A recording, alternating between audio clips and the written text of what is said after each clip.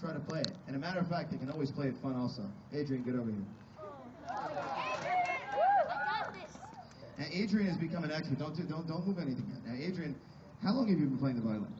Uh, been like six, seven years. That is correct. Okay, good. I don't know if it's correct, but I'm, I'm assuming it's correct. Uh, so it's very, very good. And, and you've learned and, and you, you've gone to NYSSMA and everything, right? And, and you've been terrific. You've been a model student and you've been practicing all the time, right? Right. And uh, of course, your favorite composers are Bach and, uh, and Mozart and Handel and uh, Lady Gaga. Is that correct? You want to perform some Lady Gaga? You want to get tape on this one? Yeah. All right, yeah, yeah. We got to get HT over here as well. All you have to do is just give us one verse on this. Is that okay? We don't have to do two verses. One verse is cool. So after the da da da da da da da da da da da, that's it, right?